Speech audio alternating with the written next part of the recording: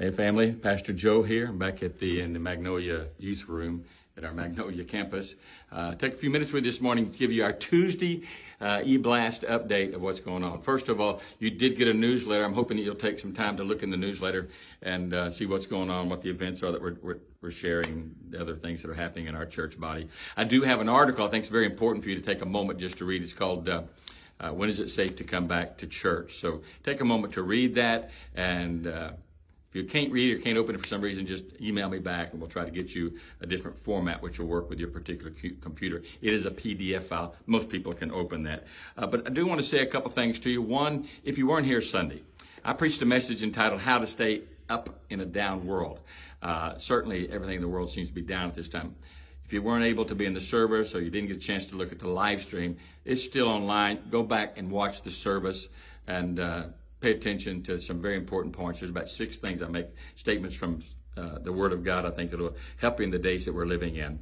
But today, as you look around, you know, not a whole lot changed since Sunday when I talked about the, the how the day that we're living in is certainly tense and filled with anxiety, fears, and doubts, and struggles, and financial issues, economic woes, and issues facing the nation. Uh, people are troubled. People are hurting. Uh, some people are finally starting to pray about what's going on. But I just want to remind you that in the midst of all this, what we have is the gospel of the Lord Jesus Christ. And along with that, if we've truly given our hearts to Christ, we are new creations in Christ. Remember that. And remember, you know, that because of that, we live a different kind of life. We live on a different level. We don't ignore what's going on. We inject ourselves as the light into the darkness. I talk about that some in our, sun, our Sunday morning service. So be sure and, and, and, open that up if you haven't taken time to look at it. But I made a decision, you know, uh, in the context of all that, in the context of where we're at today, I'm, I'm just not going to participate period, and a lot that's happening. I'm just, I'm not going to participate at least the way the world participates in it. Uh, you know, uh, you can give yourself over to what's happening in this age and really be despondent and really come away depressed from it all. But I'm just kind of make, I'm, I'm not going to participate in the fear. I'm going to participate in the joy of the Lord. I'm not going to participate in, the, in all the oppressive things that are coming that create fear in people's hearts and minds. I have a confidence in God's word that all things do work together for good to those who love God and those who are the call uh, according to his purpose. That's me, so I'm not going to participate in the fear. I decided I'm not going to participate even the divisive spirit that's out in the age. There's so much division. I even said Sunday, I think we're, and I've said it in, in the last couple of years, I really believe that the nation's on the verge of a really major rift and divide that may lead to even greater violence in the world. But I, I'm, I'm not going to participate in the spirit of divisiveness. I'm going to be a unifier. The Bible said, blessed are the peacemakers. So I'm going to point people to the way of peace and the life of peace and the peace that's in Jesus Christ and show them how to make peace even with each other.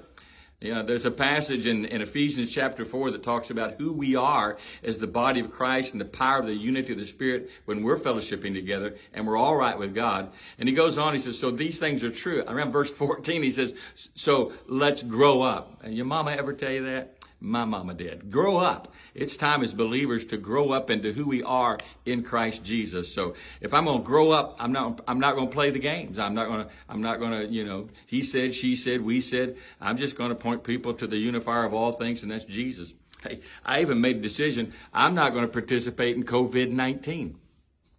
Okay? So what if you get it? If I get it, Hey, God to give me the grace to get through it or take me on home to the greatest graduation day I could ever hope for in my life.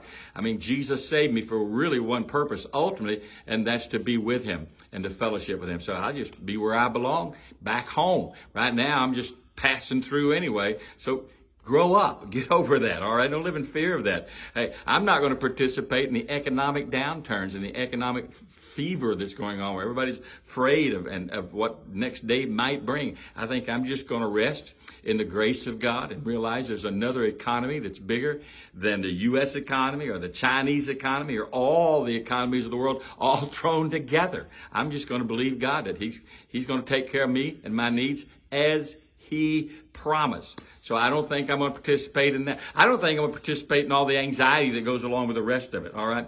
Again, I'm going to lift up the cross of Jesus Christ. I don't think I'll participate on the ongoing debates that are out there. You say, well, what are you going to say? I'm just going to lift up and point Jesus to Jesus as the King of all kings and the Lord of all lords, and that the way of peace in a, in a person's life, not only inner peace, but peace with others, is to find peace with God through the Lord Jesus Christ. So I think I'm just going to, if I enter on any de- debate, it's just going to be on that level. I'm not going to participate in the angry mob. I'm not, I'm just going to stand back and, and point people to Christ and say, here, Jesus is still the answer in the midst of every storm that is raging. So I'm going to grow up. That means I have to quit whining moaning, complaining, whimpering, accusing. And I'm going to be, I think what we could really call us to be the people of God, what God called us to be. So I'm praying today that you'll join with me and say, I'm not participating in that. I'm participating in the kingdom of light in the kingdom of grace. I love you more than you know, and I look forward to seeing you in our next services. So come be a part of what God's doing. These are great, awesome days. God bless you.